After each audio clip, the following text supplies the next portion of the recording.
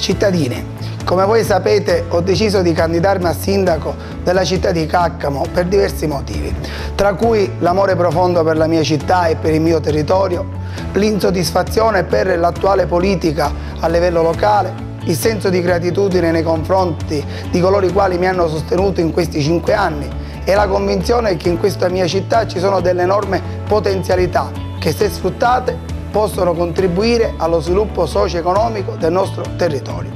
Mia, il mio è l'unico progetto serio, vero e credibile di rinnovamento e di sviluppo della città di Caccamo. Io ho lavorato in questi cinque anni in libertà, senza condizionamenti, senza imposizione, solo per il bene comune. Nei prossimi anni, se me lo consentirete, lavorerò con la stessa determinazione, con la stessa convenzione, con la stessa libertà per la città di Caccamo e i caccamesi. E allora l'11 giugno fate vincere le idee che contano e soprattutto votate Salvatore Comparetto sindaco della città di Caccamo per essere orgogliosi anche voi di essere cittadini caccamesi.